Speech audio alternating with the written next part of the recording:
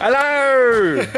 How are you going? How are you going? Good, good. It's Kristin from Canada and Chris from Liverpool. What are you guys doing today in these very cool looking outfits? I'm going to fall about 14,000 feet. You're about to jump out of a perfectly average aircraft, aren't you? So why are you doing this? For fun. Just for fun? Just something silly Check to off the do? bucket list. Fantastic. Well, today we're going up to 14,000 feet. We're going to jump up. We're going to go 220 kilometers or 120 miles in the old country, straight towards the planet.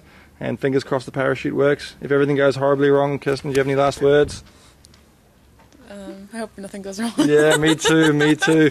Good luck, partner. I hope you survive, especially you, Chris. I hope you survive, but I'm more worried about her because we're attached. Fingers crossed. Let's go play. Woohoo!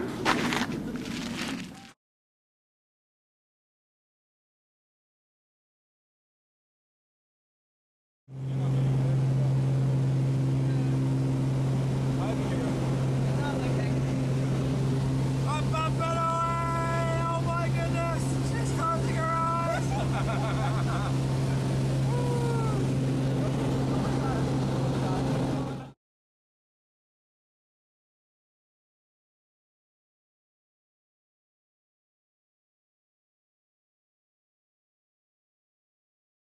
Hello! How are you? Guess what? We're halfway there. We've still got a long, way to go. We're getting it right. You nervous? Yeah. Me too, me too. I didn't tell you today's my first day, did I? What could possibly go wrong though? Hey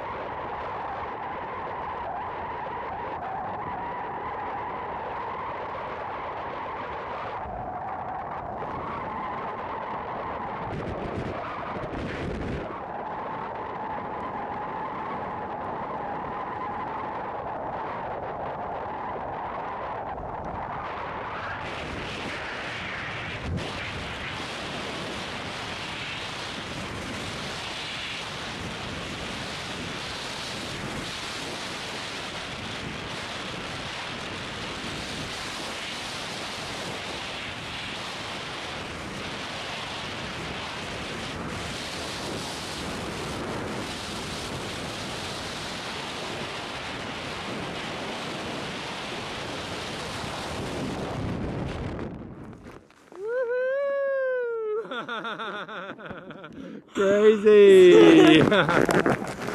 Congratulations! You just Thank survived you. jumping out of a plane. Was that the best thing ever? It absolutely was. You ready to go again? yeah. You want to go now? Maybe after processes. After a beer or two. well, you did a great job, partner. Thank well you. done. We'll see you guys next time. Woohoo! Crazy!